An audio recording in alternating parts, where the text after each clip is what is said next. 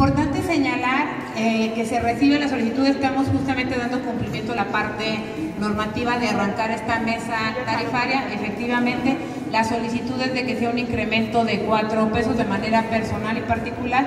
No estoy de acuerdo, creo que es excesivo cuatro pesos. Sin embargo, lo que sí quiero que sepa la ciudadanía es que estaremos haciendo un análisis. Para eso es la mesa.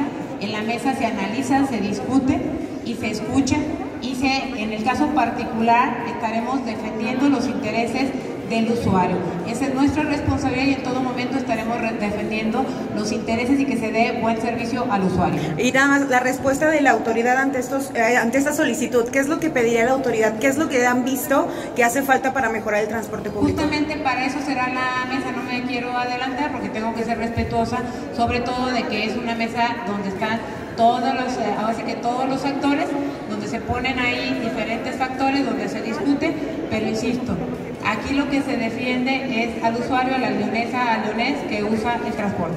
Gracias.